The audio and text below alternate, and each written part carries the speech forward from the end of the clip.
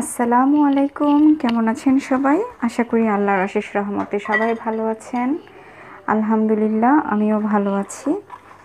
তো আজকে একটি নতুন ব্লগ নিয়ে চলে আসলাম। এখন প্রায় সাড়ে আটটা বাজে রাত। তো আমি সেহিরির জন্য প্রথম রমজান। তো সেই জন্য আমি একটু মুরগি রান্না করছি। হাজির হয়ে গেলাম আপনাদের মাঝে। সবাইকে আমার তরফ থেকে রমজান মোবারক। যে যেখানেই থাকব আমরা, আল্লাহর নাম নিয়ে আগামীকাল নিয়ত করে রোজা রাখব। তো আমার প্রিয় ভাই বোনেরা যারা আপনাদের সাথে, আমার সাথে শুরু থেকে এখন পর্যন্ত আছেন, সবার প্রতি আমার অনেক প্রাণ ঢালা ভালোবাসা। আপনাদের সকলের প্রতি আমি অনেক কৃতজ্ঞ যে আমার সাথে আপনারা শুরু থেকে এখন পর্যন্ত আছেন। তো আমি আশা করি সবাই যে যেখানে আছেন, আপনারা আল্লাহর ইচ্ছায় সবাই ভালো আছেন, আলহামদুলিল্লাহ। আমিও আল্লাহর রহমতে ভালো আছি। আমার ভাই বোনেরা সবাই আপনারা ভালো থাকলে আমার খুব ভালো লাগে। আর যে যেখানেই থাকবেন, অবশ্যই সকলে সাবধানতা অবলম্বন করে থাকবেন। এটাই আর আমাদের আসলে বর্তমান সিচুয়েশন যেটা চলছে যে কোনো ব্লগই দেখা যাচ্ছে কমন কথাই হয়ে যাচ্ছে। আর কিছুই করার নাই আসলে, কথাগুলো চলে আসতেছে পর্যায়ক্রমে। তো ভুলভ্রান্তি হলে ক্ষমা করে দিবেন। আসলে সারাক্ষণ অনেক টেনশনে থাকি, আতঙ্কে থাকি, এর জন্য এই একই প্রসঙ্গে কথায় আলোচনা হয়ে যায়। অনেকে হয়তো ভাবতে পারেন যে, আপু একই টাইপের কথা বলে। আসলে একটাই, একটু টেনশনে থাকি এটার জন্যই যে যেখানে থাকব, সবাই যেন সাবধানে থাকব, এটাই সব সময় চিন্তা করি। আসলে সেই জায়গা থেকে হয়ে যায়। এই আর কি, আর আজকে দুপুরে রান্নাবান্না করেছি শাক ভাজি, ডাল, আর হচ্ছে কি রান্না করলাম? আজকে দুপুরবেলা গরুর মাংস রান্না করেছিলাম। আর সেহেরির জন্য এখন রান্না করছি একটু মুরগি বোনা করব। আর কিছুই করব না, কারণ প্রথম সেহেরি দেখা যাবে খাওয়া হবে না, তাই ওইভাবে কিছু করিনি। আর ডাল থাকবে, তো এগুলো দিয়ে হয়ে যাবে আজকে, ইনশাল্লাহ।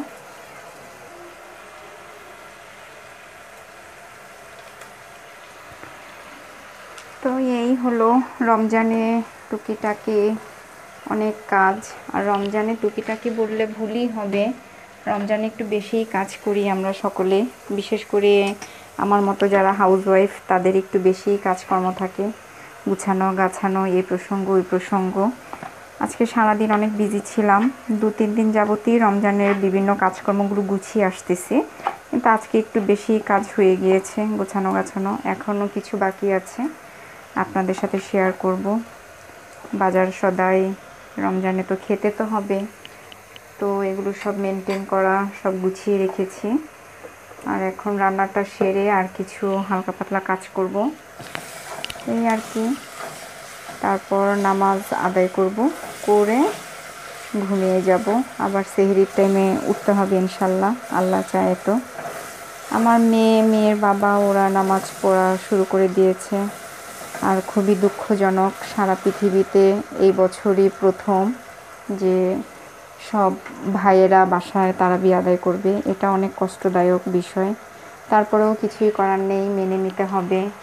নিয়তি, আল্লাহ রাবুল আলমিন ভাগ্যে এটা আমাদের রেখেছিলেন, তাই হচ্ছে।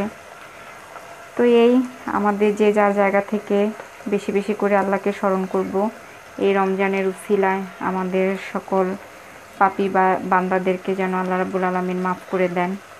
আল্লাহকে বেশি বেশি এখনও স্মরণ করা উচিত আমাদের সকলের।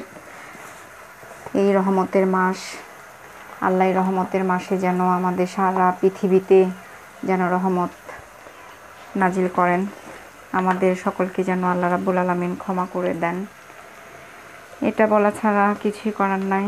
আর আসলেই এখন আল্লাহ যেন আমাদের সকলকে রহমতের মাসে যেন সকলকে সবার জায়গাতে ক্ষমা যেন করে দেন। আগের মতো যেন আবার সারা পৃথিবী হয়ে যায়। আগের পরিস্থিতিতে যেন আবার আল্লাহ রাবুল আলমিন আমাদেরকে ফিরিয়ে দেন। আর ইমানদার লোকজন যারা আছেন এই পৃথিবীতে, তাদেরকে ইমানি শক্তি আরও বাড়িয়ে দেন। যাদের ইমান এখনও আমরা ইমানের সহিত অনেকেই অনেক জায়গার অনেক কাজ করছি না, আল্লাহ যেন আমাদেরকে আরও ইমান দান করেন, হেদায়েত করেন, ধৈর্যশীলদের সাথে আল্লাহ যেন আমাদেরকে সামিল করেন। এটাই আল্লাহ যেন ক্ষমা করে দেন। আল্লাহ রাবুল আলমিনের ক্ষমা ছাড়াও আমাদের কোনো উপায় নেই। আল্লাহ আমাদের সকলকে যেন ক্ষমা করে দেয়। আল্লাহ সকলকে আমাদের মাফ করে দাও। আমিন। সুম্মা আমিন। যত ভুল, যত পাপ, অন্যায় তোমার দরবারে করেছি, জানা, অজানা, সব পাপ, অন্যায় থেকে আমাদেরকে মুক্তি করে দাও, মাফ করে দাও। আগের পরিস্থিতি আমাদের সকলের মধ্যে ফিরিয়ে দাও। আমরা যেন আবার আগের মতো চলতে ফিরতে সব কিছু, যার যার কর্মস্থলে যেন বিজি থাকতে পারি। আমাদের আগের সিচুয়েশনটা যেন আল্লাহ রাব্বুল আলমিন আবার ফিরিয়ে দেন। আগের সিচুয়েশন অনুযায়ী যেন আমরা আবার চলতে পারি। এগুলোই। তো আমার ভাই বোনেরা, আমরা বেশি বেশি করে ইবাদত করব। আর আগামীকালকে আমাদের বাসায় সবাই সুরা তারাবি পড়বে। আজকে থেকে পড়ার কথা ছিল। সো যে আমাদের বাসার ভাইয়াদেরকে নামাজ পড়াবেন, তো উনি আগামীকাল থেকে আসবেন। তো আল্লাহ যেন প্রত্যেকটা ঘরকে মসজিদ বানিয়ে দেন, আমাদেরকে ক্ষমা করে দেন।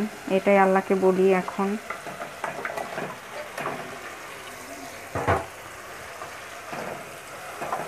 আমার মাংসটা কষিয়ে কষানোতে দিয়ে আমি আর একটু কিছু কাজ সারবো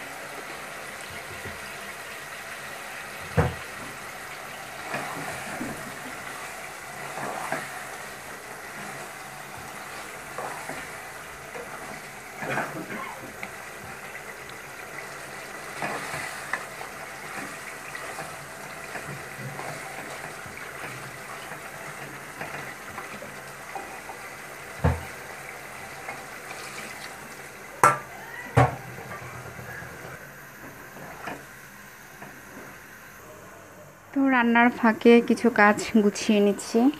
সেটা হচ্ছে এই ট্যাঙ্কটা আমি তো প্রতিদিন শরবত যখন করব তখন দেখা যাবে এই কন্টেনারটা প্রতিদিন নিতে একটা প্রবলেম। তো আমি কিছুটা অন্য আর একটা জারে নিয়ে নিব। সেটা টেবিলে আমি ডেকোরেশন করব। কারণ হচ্ছে এভরিডে এটা মানে ওপেন করা একটা ঝামেলা। তো আজকে তার জন্য এটা নিলাম। কিছুটা অন্য আরেকটাতে নিব। আর এই ট্যাঙ্কটি হচ্ছে বাহিরের আমি এখান থেকে নিয়েছি, বাংলাদেশ থেকে। তো এটা আড়াই কেজি। আমি প্রথমে একটি নিয়েছিলাম সাতশো গ্রাম, বাট ওইটার প্রাইস ছিল পাঁচশো পঞ্চাশ। তারপর চিন্তা করলাম যে না, আমি এক কাজ করতে পারি, সেটা হচ্ছে আমি আড়াই কেজিটাই নিতে পারি, আর এটা হচ্ছে তেরোশো। সো এটাই মনে হচ্ছে ভালো করেছি নিয়ে। আসলে ওটা নিতে চেয়েছিলাম, কাচের জারে ছিল এটা, এই জন্য। তারপর ভাবলাম, থাক, ঠকেই যাচ্ছি, এটাই নিয়ে নিই। তো এই হচ্ছে, আমি এখন এই জারটি, এটাও আমার আর একটা জুসারের জার। তো এটা ছিল পাকিস্তানি জুসের জার, এখন শেষ হয়ে গিয়েছে। তো ভাবলাম, এটার ভিতরে আমি এক জার নিয়ে নিই। প্রতিদিন এটা থেকে নিতে পারব। আর এত ওয়েটের এটা এভরিডে ক্যারি করতে হবে না।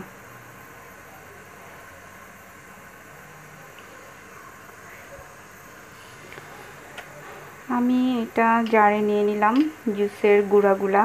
আর হচ্ছে এটা বাহিরেরগুলো একটু জুসটা দেখা যায় যে অনেক ঘন হয়, তাই বাহিরেরটা নেওয়া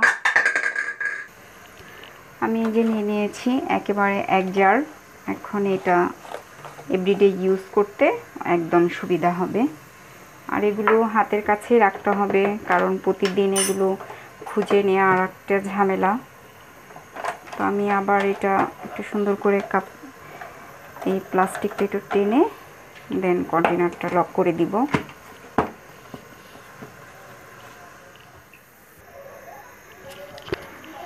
অল মাই ভিউয়ার্স আমি এখানে কিছু খেজুর আজকে অর্ধেক খেজুর নিয়েছি।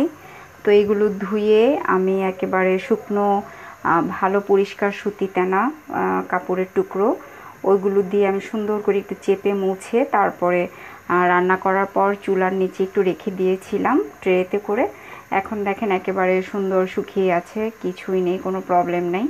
তো এটা প্রতিদিন ধোয়ার আর ঝামেলা থাকল না। আমি এটা এভরিডে সুন্দর করে টেবিল থেকে নিয়ে নিতে পারব। তো তার জন্য আমি, আমার তো ডাইনিংয়ের উপরে দুটো অলওয়েজই থাকে। এগুলোর ভিতরে আমি এমনিতেও ড্রাই ফ্রুট রাখি। একটিতে কিশমিশ আর একটিতে খেজুর। তো অলরেডি এটাতে কিশমিশ আছে কিছু। এটা কিশমিশগুলো এটাতে ছিল। আমি ওই এটা ধুয়ে নিয়েছি এই জারটা। তো এখন আমি এগুলোতে নিয়ে নিব। আর ডাইনিংয়ে থাকবে। দেখা যাবে প্রতিদিন বের করার কোনো দরকার নেই।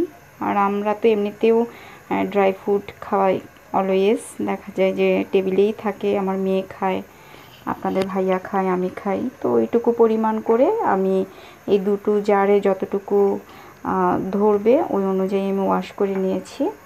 আবার পরে যখন এগুলো শেষ হয়ে যাবে, ওইগুলো আবার বের করে তারপর আমি নিয়ে নিব। তো আমি নিয়ে নিয়েছি দুটো জারে খেজুরগুলো। এখন টেবিলটা গুছিয়ে নিব। রমজান উপলক্ষে একটু অন্যরকম লুক দিব, কারণ এখন টেবিলে অনেক আইটেম থাকবে। এইটা হলো ডাইনিংয়ের বর্তমান লুক। তো আমরা একটু লুক চেঞ্জ করি। আরও কিছু আইটেম আমাদের জরুরি, প্রতিদিনের প্রয়োজনীয় কিছু আইটেম আবার অ্যাড করি। এই দুটো জারে যতটুকু তো আর মাই ফ্রেন্ড এই হচ্ছে আমার বর্তমান ডেকোরেশন তো আমরা পরিচয় করিয়ে দিই, কোনটা কি আইটেম আছে এখানে। আমি তো বললাম, এই দুটো জারে আছে খেজুর, আর এটাতে ট্যাং, আর এটাতে ইসুপগুলির ভুসি, আর হচ্ছে টিস্যু, আর কিছু চামিচ আর নাইফ সো আর এটা তো সল্ট পট আর এটা হচ্ছে কিছুটা সুগার এখানে, অনেক সময় আমার প্রয়োজন হয় আর পাশেরটা সস তো এইভাবে আমি এখন এটা ডেকোরেশন করলাম। কারণ হলো এখন এগুলো রাখতে হবে ডাইনিংয়ে তাই আসলে এভাবে করা। তো এটাই আমার আজকের এই ব্লগটি যদি ভালো লেগে থাকে প্লিজ তোমরা আমার চ্যানেলটিকে সাবস্ক্রাইব করে নিও। আর পাশে বেল আইকনটিতে একটি ক্লিক করে আমার চ্যানেলটি আপন করে নিও। আর বেল আইকনটিতে ক্লিক করার মূল কারণ হচ্ছে আমার প্রতিদিনের নিউ নিউ ব্লগগুলো তোমাদের ইনবক্সে নোটিফিকেশন চলে যাবে। সেই জন্য। সো এটাই বলব, আমার চ্যানেলটাকে তোমরা প্লিজ আপন করে নিও। আর যারা শুরু থেকে এখন পর্যন্ত আছো, সবার প্রতি আমার অনেক ভালোবাসা, ভালো লাগা। আর যারা আমার চ্যানেলটিকে এখনও সাবস্ক্রাইব করনি, তো তাদের উদ্দেশ্যেই বলছি চ্যানেলটিকে প্লিজ সাবস্ক্রাইব করে নিও। তো এটাই হচ্ছে। থাকো আমার সাথে, আমি তো রান্না চুলায় আছে এখনও রান্নাটা কমপ্লিট হয়নি। তো আমি রান্নাটা শেষ করে দিলেই কাজ ওকে।